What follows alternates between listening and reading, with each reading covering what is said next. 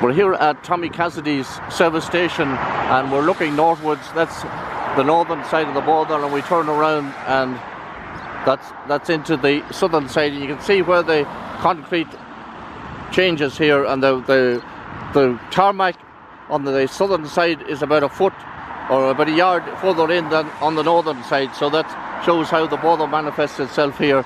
And we have Tommy Cassidy, the proprietor, and the store here in the background. Tommy's just walking towards the store which we were talking about earlier on there, but two thirds of it in the south and one third in the north. And as you walk in here, Tommy, you, are going to explain to me the reality of the situation. The reality is that where I'm standing now, we're in Northern Ireland. Yeah. The products that you can see behind me are in Northern Ireland. As we walk across here, all products to my left is in Northern Ireland. When I cross over here now, I'm now in the Republic of Ireland. Yeah. And as we walk towards the building, within the building, you will be able to see the products where they are stored. Yeah. Some north and some south. Yeah. So if we go inside, it will be easy to see products from Lakeland Dairies. So we have feedstuffs here uh, from Lakeland Dairies, and I presume this is in the southern side here, Tommy. Lakeland Dairies products, as you can see here, where we stand at the moment, is in the Republic of Ireland. As we proceed down through the building,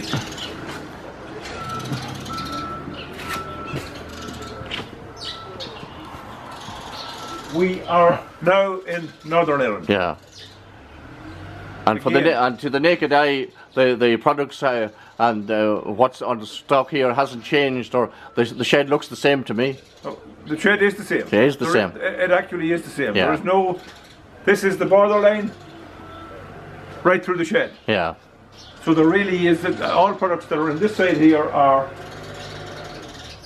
placed in Northern Ireland. In Northern Ireland, including the wheelbarrow. I used to hear jokes years ago about guys smuggling wheelbarrows, and there was all sorts of funny jokes I heard about boys uh, smuggling bicycles, and they used to bring up a, pound of water, and you go down cycling every day. And it was years later the customs realised it was bicycles they were smuggling. That is correct. I suppose, have you any funny story yourself you could relate about smuggling, Tommy?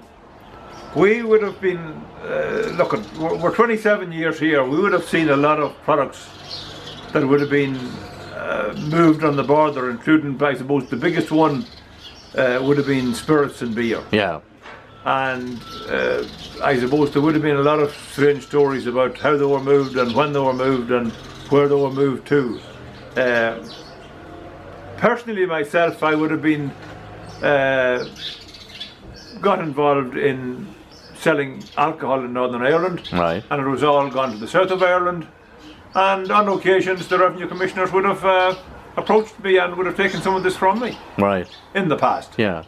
Um, and that was the reality of the situation when there were customs and revenue and the the border was implement, implemented at that time. Yeah, the border was there, and that you know it, it was it, it, was there for people to make the best possible use they could of it. Yeah. And people living on the border from the agricultural products right through to boots and shoes and like Enniskillen was a fantastic uh, uh, marketing town. There was, yeah. you know, one of the better towns in Northern Ireland actually. You had Sligo, Donegal, Fermanagh, yeah, then you had Cavan, Leitrim, all people arrived in, in, in Fermanagh to do their shopping. And if we go for a walk back out, Tommy, we'll just see your service station and how the reality is of day to day living here uh, on a service station and, and facility that actually straddles the border, Tommy. And if there were a hard border and that type of infrastructure or Brexit, how, how it manifests itself. We're just walking back out and you can see your street here and people moving with forklifts and trucks and everything. There's no distinguishable marks here about where the border is, Tommy. Absolutely, there is, there is, there is no markings at all for the border here. There never has been on, on, on this side of Fermanagh and Cavan right through until you arrive at Aghalane where the river is. Yeah. The rest of the border along here has been no markings. There isn't any markings today, and that's been the, that's been the way for the last uh, from the border was set up. And finally, Tom, as the snow comes down here on this Thursday morning in January, uh, the people here are resilient, and no matter what happens, you get on with living. We will get on with living irrespective of what takes place. We are going to have to continue and stay on in business here. Uh, maybe price differentials with regards to euro and the sterling may be a factor, but personally, I can't envisage any tariffs uh, being imposed on products moving from north to south. If we take some of the products we spoke about, animal feeds, uh, are they, are they going to impose tariffs? And if they do, who's going to who's going to be here to man whether I sell a bag of meal to a guy from Derrylin or whether he's from Ballyconnell? Tommy Cassidy, thanks for your enlightening interview today. Thank you.